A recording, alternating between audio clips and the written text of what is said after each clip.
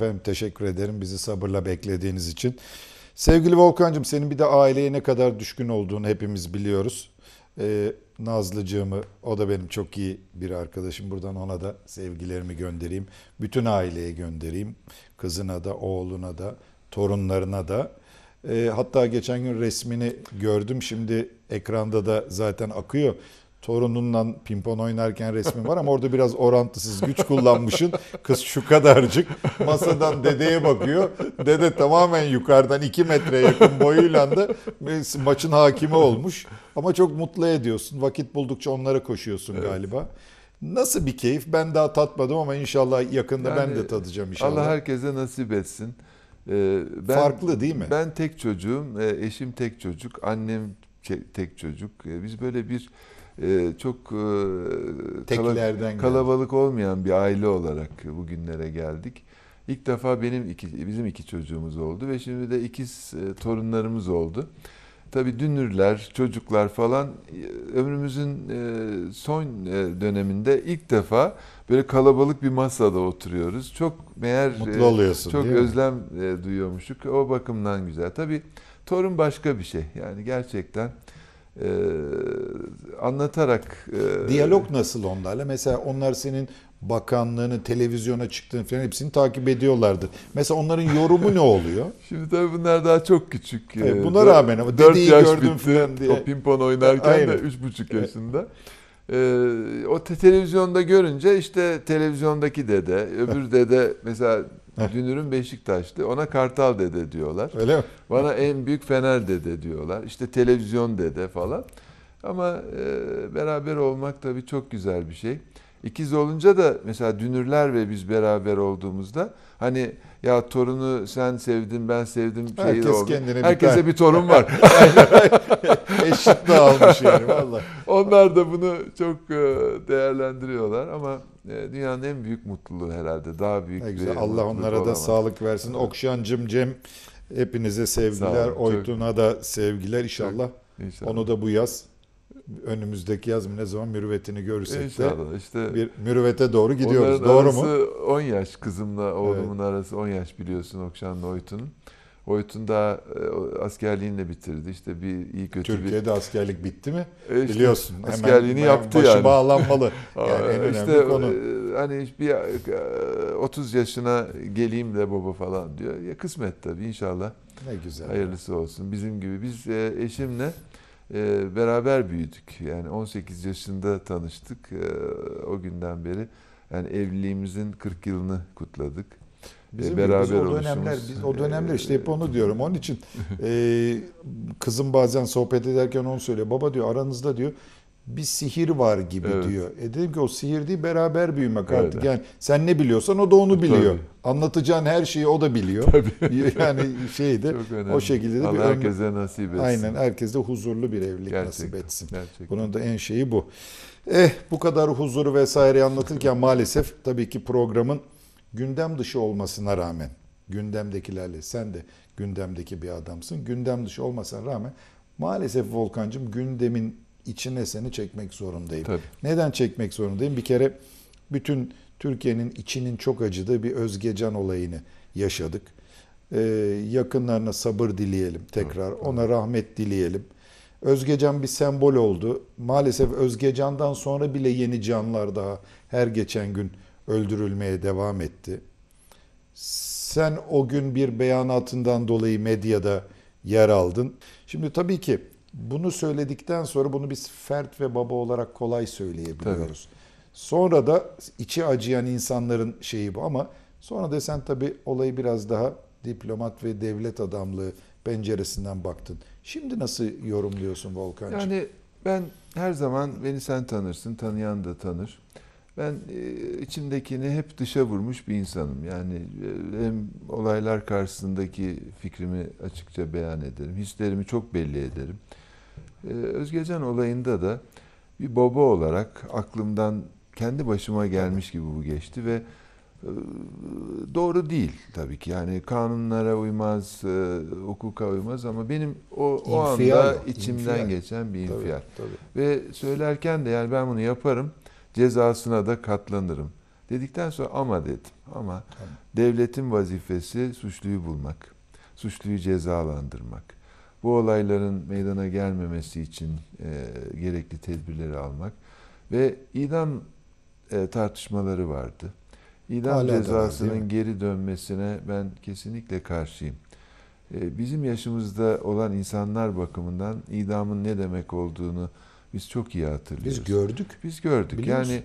Toplarlardı bizi. toplarlar. Şehir meydanında Tabii. idam ederlerdi. Biz Tabii, çocukluğumuzda yani.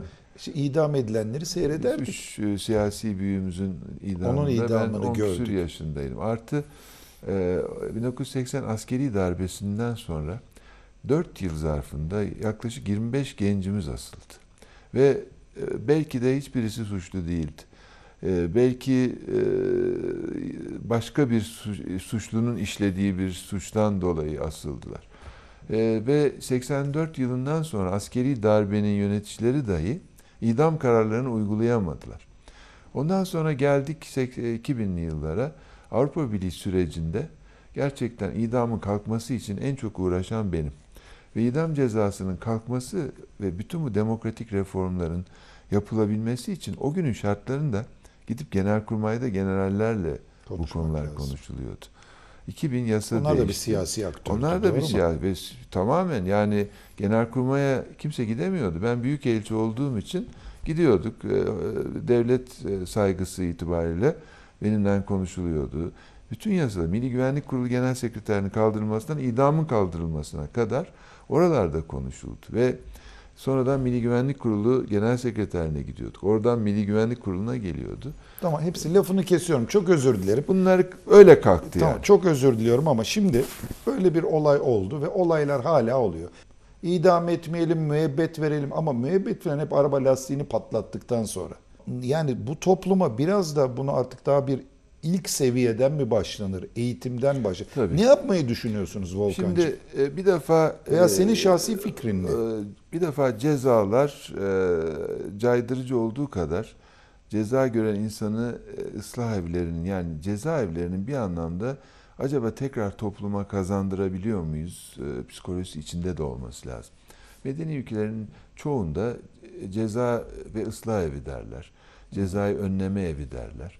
Yani bir e, sapığı tabii belki tekrar Evet. topluma kazandıramazsınız. Ama öyle suçlar vardır ki e, hapishane e, hapis cezası sırasında e, Tövbe iyi, tövbe eder. İyi, iyi bir insan olarak dönebilir. Şimdi burada bu suçun cezası ağırlaştırılmış müebbet. Asla asmaktan da bence daha kötüdür. Şu anda bu cezayı alan birisi 36 yıl tek başına bir hücrede kalıyor ve e, Her gün ölüyor. her gün ölüyor. Ayıplarını Tabii. e, ay- ayıplarıyla yaşıyor, vicdan azabıyla yaşıyor. Bunu başka bir e, tek başına yaşatmasanız o e, cezaevindeki bazı insanlar cezasını veriyor. Şişliyorlar, öldürüyorlar. Bunun gibi çok olaylar var. Dolayısıyla burada esas önemli olan olayın yani antibiyotik tedavisi. Ceza vererek önlenemiyorsa demek ki toplumda eğitim arttırarak e, belki bazı e, buna temayüllü insanları önceden saptayarak Yani onlar üzerine kesiyorum. çalışarak Bu, bu bir çocuk çaba zaten sinyal vermiş. E, sinyal belli yani. Doğru mu? evet. Oturdu yani yerde yandaki komşuları sürekli olarak Ya bu e, bir kaza geçirmiş. Ben tabii Heh. anla, takip ediyorum e, oradan buradan basından. E, sanıyorum genç yaşta bir defa çok şiddet e, taraflı bir babanın yanında büyümüş. aynen. Şiddete maruz, kendisi de şiddete maruz kalmış. Sanıyorum e, 18 yaşlarında bir kaza geçirmiş.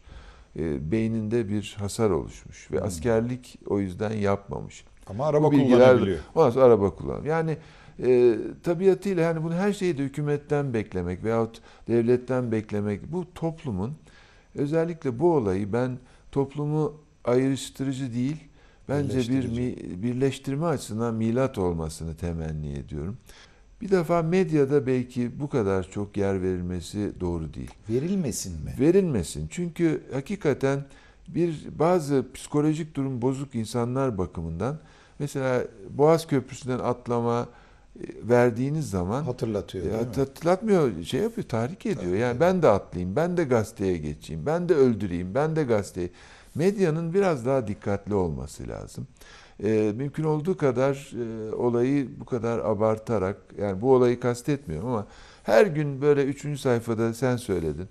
Ee, böyle birisi kesmiş, orasını doğramış, O atlamış, intihar öbür- etmiş aynen. falan. Toplumun psikolojisini de bozucu Ve nitelikte. zaten şu anda toplumun psikolojisi inanılmaz zaten bozuk. bozuk. Zaten Yani bozuk şimdi yani. bundan dolayı da sığınacağımız insanlar diye meclisi açıp baktığımızda her gün maalesef, Maalesef. hep aynısını söylüyorum.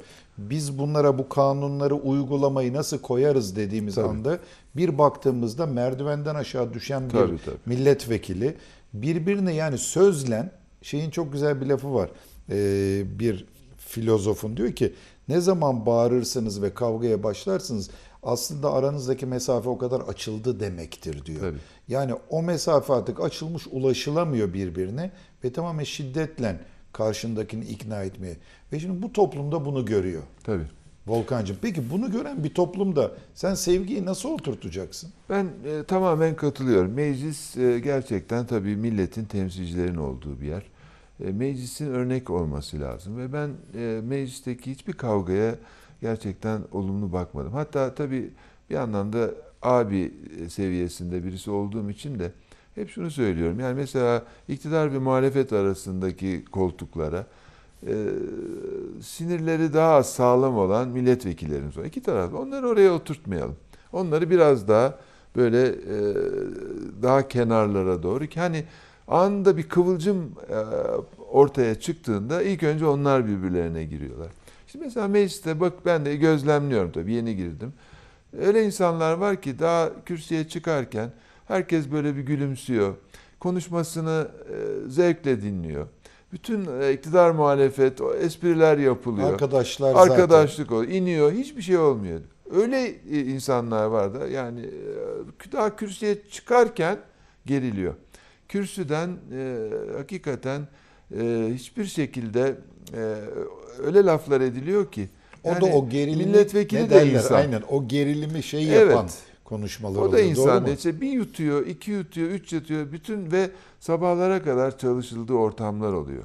E, o sırada zaten yorulmuş, zaten gerilmiş. Bir yerde bir patlıyor. Grup başkan vekilleri e, daha kendi konuşmalarında dahi sanıyorum daha ılımlı konuşmalılar ve e, aslında grup başkan vekilleri arasındaki bazen sertleşen konuşmalar giderek gruplara yayılıyor. Ama e, belki bütün sistemimizi değiştirmekte fayda var. Bu kavgalar olduğu anda belli ki bir gerginlik var ve bu gerginlik gidecek. Acaba niye bir araya gelip ya bir konsensüs aranmıyor? Yani illaki hep bir taraf iktidar partisi benim kanunum geçsin muhalefettekiler de ölsek can- yani okuduğum zaman bizim yaştaki insanlara çok tüyler ürpertici geliyor. Benim ölüm çıkar buradan da bu kanun çıkmaz filan. Allah aşkınıza ya birbirimizden savaş mı ediyoruz? Yani Doğru e, mu? Yani böyle tüyler ürperten bir şeyler ya. e, hiçbir şey yapılmıyor demek de doğru değil. Meclis başkanımız zaman zaman grup başkan vekillerini çağırır. Bir daha çağırsın. Onlarla konuşur. Grup başkan vekilleri her pazartesi bir araya gelirler. O hafta konuşulacak kanunları, acaba şu gelirse bu olur mu? Yani bir aslında ılımlı ortam yaratmaya çaba sarf ederler. Bu son güvenlik yasasında da aslında iktidar e, iki haftadır erteliyor. Bir acaba uzlaşı sağlanabilir mi? Acaba bunu daha sonraki bir dönemde alırsak daha rahat geçebilir. İki hafta ertelenmesine rağmen maalesef bu hafta dört gündür bu gerginlik devam ediyor. Ee, yani hükümetin kanaati bu güvenlik yasasının çıkmasına ihtiyaç var. Ee, Molotov kokteyli nedeniyle gerçekten Türkiye'de çok insanımız öldü. Ee, 92 yılında bir alışveriş merkezine attılar. 11 ölü, 14 yaralı oldu. Otobüslere atılıyor. Ee, kahvehanelere Peki atılıyor. uzlaşı bulunamıyor mu Volkan'cığım Maalesef ya? bulunamıyor. Yani Çünkü yok yani. Şu andaki Sen samimi şeyde, fikrin ne? Yani bu uzlaşısız iki tarafta bir taraflara çekecek. Molotov kokteylinden nemalanan Oradan mı bir başlıyor grup bu var. Molotov şey, kokteyli çünkü problem? her yerde kullanılıyor. Ve bunu kullanan gruplar var ve bir anlamda bu silah haline gelmiş vaziyette. Bunu silah diye tanımlanması istemeyen bir grup var. Ondan sonra uyuşturucuyla mücadele bölümü var. Okulların etrafında çocuklarımıza bonzai satan, uyuşturucu satan insanlar Peki var. muhalefettekiler bunu niye istemesinler? Yani be, Hayır, bilmiyorum, onların da evlatları, onlar da sen, ben, hepimizin Ama öyle bir arkadaşı. şekilde bu e, bir algı oluşturuldu ki Sanki bu Türkiye'de diktatörlük getirilecek, işte bu sayede şu olacak. Abi hakikaten ben Avrupa Birliği Bakanı olarak bu Kasım ayında falan Bakanlar Kurulu'nda o zaman görüyoruz. 8 saat bütün virgülüne kadar maddelerine kadar konuştuk. Avrupa Birliği müktesebatına baktık. Avrupa ülkeleri Orada uygulamalarına Avrupa baktık. Birliği'nde? Bunu bütün neredeyse ülkelerde Molotov e, silah olarak adlandırılıyor. Kullanılıyor. Peki buradan şuna geçeceğim. Senin bütün misyonun Avrupa Birliği ile ilgili geçti. Zaten birazdan görüntülerde de arkadaşlarımız onu gösterecek. Sevgili Cem var benim yardımcım. Ee, İstanbul'da bir takım yerlerde Avrupa Birliği ile ilgili insanlara fikirlerini sordu. Onların Avrupa Birliği ile ilgili düşüncelerini aldı. Avrupa Birliği hakkında ne düşünüyorsunuz? Vallahi bu, bu şartlarda girsek daha iyi olur. Çünkü çocukların durumları belli. İşler yok. Durumlarımız iyi. Çalışamıyoruz. Çocuk okula zor gidiyor. Hava şartları falan çok girsek daha mantıklı yani. Türkiye girse de olur, girmese de olur. Bunu düşünüyorum. Kendi görüşüm böyle. Peki Türkiye kaç senedir Avrupa Birliği'ne girmeye çalışıyor? Bir bilginiz var mı? Var 50 yıldan fazla. Bravo. Vallahi bilen şu ana kadar tek kişi siz oldunuz. Teşekkür ederim. Girmemiz lazım mı sence Avrupa Birliği'ne? Yani bekliyoruz. Kaç senedir bekliyoruz abi? Herhalde bir 70-80 yıldır bekliyoruz. Peki ne kadar daha bekleyeceğiz yani biz Avrupa Birliği'ne? Vallahi almazsa salmasınlar. O kadar mecbur değiliz yani. Bana göre girmemeli. Neden? Nedeni şu, bizi kabul etmeyen ülkeye biz zorla kendimizi kabul ettirmeyeceğiz. girmemeli. Yani e, çünkü 2023'e şurada ne kaldı ki? Artık Avrupa Birliği bizim e, ça- bizim çatı altımıza girmeye çalışacaklar çünkü. Neden? Çok zengin bir ülke olacağız. Bir sürü kaynaklarımız var. Cennet aslında bizim ülkemiz de hani kimse bunun farkında değil. Umarım yani 2023'e kadar e, sıkıntısız, soruntusuz geçer. Biz de her türlü doğal kaynağımıza ulaşırız. Yani Türkiye Avrupa Birliği'ne girmemeli diyorsun. Evet. Yani zaten girmiş olsaydı şu ana kadar girerdi. Bunlar bu saatten sonra da hiç gerek yok girmeye. Sizce Türkiye Avrupa Birliği'ne girmeli mi? Bence girmemeli. Neden? Ya bence Türkiye'deki şartlar daha iyi. Daha iyi. Bence. Ben Belçika'dan geliyorum. Yani bilmiyorum.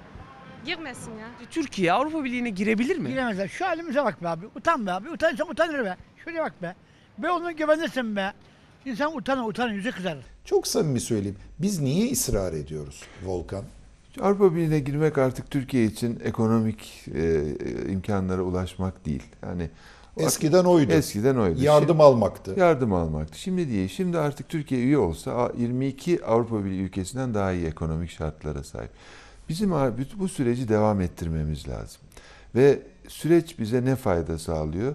Avrupa Birliği'ni Avrupa Birliği yapan demokrasi, insan hakları, temel hak özgürlükler yanında çevre, gıda güvenliği, eğitim, bütün sosyal e, güvenlik, bütün bu şartlarda gerçekten e, dünyanın en ileri noktasına erişmiş elimizde bir örnek var. Ve Türkiye'yi biz buraya getirmek istiyoruz. Eğer bu süreci devam ettirmezsek o zaman kendimiz bunları kendi bildiğimiz gibi yapmaya belki çalışacağız. Ama hazır orada e, çok güzel bir e, seviye var, belli, belli bir standart var. Türkiye'yi biz buraya ulaştırmak istiyoruz. Peki niye ulaşamıyoruz? Ulaşıyoruz. Aslında Türkiye'nin kat ettiği mesafeye bakarsan e, Türkiye bugün hani fasıl açamıyoruz diyorlar ama biz 28 faslı açtık Türkiye'de. 14'ü Toplam kapattık. kaçtan kaçı? Şimdi 33 faslın aslında 28'ini açtık biz. 5 fasıl Resmen kaldı? resmen açmıyorlar. Ee, 14 fasıl açıldı. Toplamı 33 mü? Toplam 33. Yani Yani biraz da 35'tir ama ikisi izleyicilerimiz Evet. bilsin diye yani diyorum. şöyle 35 fasıldır. ikisi üyelikle birlikte olur. 33 fasıl var. Biz bunun resmen 14'ünü açtık. Birini kapattık. Çünkü siyasi olarak bloke ediyorlar. Ama biz 8 senedir e, bu çalışmalarımızı bütün fasıllar açılmış gibi sürdürüyoruz. Çalışıyoruz. Bugün diyorum ki bir e, torbanın içine açılmayan fasılların numarasını koyun. Tombala gibi çekin. Numarayı bize söyleyin. Biz onu iki ayda açarız. Gerçek durum bu. Bu ne demektir? Bir, zaman kaybetmedik. İki, bir milyon üzerinde insanımız Avrupa Birliği'ne bu çalışmalarda çalışıyor. Onları kaybetmedik. Üçüncüsü, Türkiye'nin seviyesi yükseldi. Yani fasıl açtık derken o bir basit bir şey değil. Bütün onunla ilgili gerekleri yerine getiriyoruz. Mevzuat değiştiriyoruz. çıkıyor, Yönetmelikler çıkıyor. Uygulamaya bakıyoruz. Bugün artık insanlar sağlığını düşüner hale geldi. Tabii. Şunu az yiyeyim, şunları yiyeyim. Daha gı- gıda- güvenli gıda yiyeyim. Ankara'nın İstanbul eski halini biliyorsun. Burada Korkunç. insanlar hava kirliliğinden ölüyordu. E, sular akmıyordu. O, bütün bunlar çevre olsun, gıda güvenliği olsun, tarım politikaları bunlara çok mesafe kat ettik. Bir de mesela ulusal ajansımız var. 300 bin öğrencimiz yurt dışında eğitim gördü. 600 milyon euro harcadık. Şimdi 2020'ye kadar 880 milyon euro daha harcayacağız. E, 500 bin öğrencimiz daha gidecek. Şimdi bu imkanlarımız var. 4,7 milyar euro para harcadık. Çeşitli şehirlerimizin çeşitli e, projeleri için. Hep Avrupa 4,5 Birliği'ne şey milyar yapalım. euro daha geldi. Evet. Gaziantep'te Anadolu Arkeoloji Enstitüsü'nü kurduk. 10 milyon euro para verdiler. Şimdi bütün bu kazılar, e, müzeler, e, bilim adamlarımız o açılı yani la- projenin lansmanında çok duygulu anlar yaşadık. Volkan ne zaman Profesörlerimiz. gireriz? E, ne zaman girmemiz Kalpten e, hani bir tarih vermek şeyi- istemiyorum. Tahmini bir bir aralık ver. Ben şöyle söyleyeyim. iki sene sonra bütün fasılları kapatmış olacağız. İki buçuk sene sonra vize kalkmış olacak. 150 milyar dolar ticaretimiz var Gümrük Birliği'nde. Gümrük Birliği'ni upgrade edersek, güncelleştirirsek 300 milyar euroya çıkacak. Kaç sene? İki sene sonra farklı mı Bu olur? soruyu şimdi sormanın bir anlamı yok. Cevabı belli iki taraf bakımından. Ama öyle bir anda soracağız ki bu 50 Allah sene ömür sonra verirse iki sene Hayır, sonra bak, soracağız. Bu 50 sene sonra değil, 30 sene sonra değil, 20 sene sonra değil, 10 sene sonra değil. Çok yakında bu soruyu soracağız. 10 arası. Belki de ondan önce bu soruyu soracağız. Tamam. Peki gene senden e, bakan olarak değil de volkan olarak soruyorum. Ayşe teyzeye Türkiye'deki hani var ya Güngör Uras'ın sevgili Ayşe teyzesini. Avrupa Birliği ne faydası olacak? Çünkü biz insanlara sorduğumuz soruda bunun cevabını anlatamadık. Şimdi tabii kime sorduğunuzu Volkan. bilmiyorum ama Hayır, sokaktaki insan bakın yani sokaktaki Avrupa insan Birliği'ne destek e, yüzde yani Avrupa Birliği'ne köstek diyeyim yüzde 7-8'in üzerine hiç çıkmadı. evet.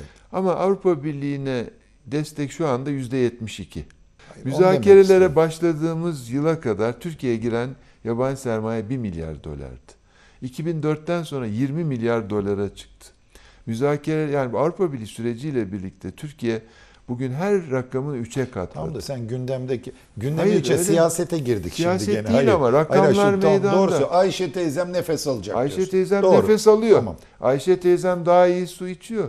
Ayşe Heh, teyzemin çocuğu Daha iyi gıda Ayşe alabiliyor. teyzemin çocuğu artık bir damperi kalkmış bir kamyon İstanbul'un çevre yolunda 60 kilometre süratle bundan sonra gitmeyecek. Ayşe teyzem görüyor bir sosyal e, bir e, iş kazasında Avrupa Birliği üyesi olsaydık belki çok daha güzel önlemler alınabilecekti. Ayşe teyze biliyor ki gerçekten artık bazı gıda ürünlerinin üzerinde e, şunlar içinde şu var şunları yenmeyecek devlet kontrolü yapıyor. Bir defa eğer siyasi reformları yapmasaydık Türkiye zincirlerini kıramazdı. Siyasi reformlarla birlikte bütün bunlar mümkün hale geldi. Ve biz 2023'te bunları ikiye katlayacağız diyoruz. Kimsede de bir gülümseme yok. iyi şeyler konuşulmaya layık bir ülke olduğumuza inandığım için benim şahsen hep her zaman olduğu gibi sizlerden ve bilhassa senden ricam var. Sen çünkü bu meclisin içinde ve bakanlar kurulunda e, iki tarafında tam ortasında bir bakan konumundasın. E, bir takım e, şeylerin diğer e, e, ne diyeyim yetişme tarzının farklı olduğu gruplar da sana değer verip şey yapıyor bakıyor. Öbür gruplar da aynı şekilde bakıyor. Onun için senin birazcık misyonun daha ağır. Kendi kendine giden pozitif giden bir ekonomi var. Hayat şartları var fakat bunun mürüvvetini kimse göreceği yerde gündem saptırılarak her gün kavga, gürültü ve insanlara gerginlik biraz da enjekte ediliyor senin dediğin gibi. Yani şöyle belki aslında senin de katılacağın ana hatları şu. Öyle bir Türkiye olmalı ki etnik kimliğine bakılmaksızın, dini inançlarına bakılmaksızın, yaşam biçimine bakılmaksızın herkes bu ülkenin birinci sınıf vatandaşı olmalı. İnsanlar birbirlerini sevmeli, insanlar birbirini saymalı ve ufak tefek gerginlikleri büyüterek bütün yaşamını belki e, çok Zehir kötü edecek, zehir aynen. edecek e, davranışlara girmemeli. E, Sanıyorum bu terminoloji içinde herkes mutabıktır. Ben e, Dilimizle söylüyoruz da Volkan'cığım, buraya uygulamada ulaşabileceğimizi de ben inanıyorum. Yeter ki e, bazı bu kriterlere herkes içinde hissetsin ve e, karşısına bunları e, uygulamasını e, tehlikeye sokacak olaylar geldiğinde de e, 24 Sağ saat sabretsin ve bir şey yaparken de aklına hep bunları getirsin. Sanıyorum bunun çözümü de o. Eğitimimiz artacak. Eğitim en önemli şey. Evet, tabii. Kadınımızın e, ekonomideki rolü, sosyal yaşamdaki rolü çok önemli. Çünkü kadınımız e, aslında hem ailenin temelidir hem de bütün bunları sağlayabilecek bir yapıya sahiptir. Eğer biz kadınımızı doğru yere toplumda oturtabilirsek ki çok mesafe kat edildi. O zaman sanıyorum Ama çok bu da adım mesafe var daha değil mi? olabilir ama düşünün yani öyle e, aile yapılarımız oldu ki şimdiye kadar kadının doğurma makinesi olarak telakki edildiği yapılardan bugün kadının ayakları üzerinde durduğu, e- eğitimli, e, aileye katkı sağlayan, iş sahibi e, insanlar haline gelmesi yolunda çok mesafe kat edildi. Kadın önemli, gençler önemli, eğitim önemli. Bu üç unsuru yan yana getirdiğimizde belki e, bugün gördüğümüz manzaraları çok daha azaltacağız. Bir annenin oğluna verebileceği şefkat, sevgi, ailenin çocuklarına vereceği şefkat, sevgi eğitimle birleştiğinde aslında sorunu çözmememiz İşte için eğitimi neden. yapacak Eğitim öğretmenlerimizi bile aile. iyi eğitmemiz lazım. Kesinlikle. Volkancığım. Aile, eğitim. Evet. Yan yana. Şeyin Kadın, bu. genç hepsi bir araya geldiğinde yine çok iyiye gidiyoruz. Bakın 185 üniversitemiz var. Genç bir nüfusa sahibiz. Avrupa'nın sahip olmadığı yaşlı nüfusa sahip Avrupa ağzının suyu akarak bakıyor. Bunu çok iyi Ağzını değerlendirmemiz suyu lazım. akıyor ama bizi almıyor. İşte paradokslar Alacak. Alacak. Alacak. Program e, sonuna geldik yani şeye gene gündem içine giriyoruz. ya bu öyle enteresan ki tabii efendim politikacılarla sohbet böyle maalesef. İstediğiniz kadar çekin. Volkancım da artık dışişleri mensubu değil. Çektiğiniz taraftan gene hop sizi alıyor minderin içine sokuyor. Ben gene kaçmaya uğraşıyorum ama zaten programın süresi bittiği için kaçacak başka yerimiz de kalmadı. Volkancım ayağına sağlık. Çok teşekkür ederim. Çok, keyifli keyif- oldu. Aynen benim için de aynı şekilde çünkü ben hep onu söylüyorum. Evlerine konuk olduğumuz insanlar biz hakikaten arkadaşlarımız hatta Volkan benim için kardeşim gibi olduğu Evet. için de kardeşlerimizle beraber geliyoruz. Umarım siz de bir saati iyi geçirdiniz. Ama programın sonunda hep aynısını söylüyoruz. Lütfen kalbinizden sevgiyi, gönlünüzden hoşgörüyü sakın esirgemeyin. Bu toplumun her gün bir önceki güne göre daha fazla ihtiyacı var. Sevgiye daha fazla ihtiyacı var. Birbirini anlamaya daha fazla ihtiyacı var. Sevgiyle kalın, mutlu kalın. Biz haftaya yine efendim sizin evinize konuk olacağız. Sağlıklı haftalar diliyoruz.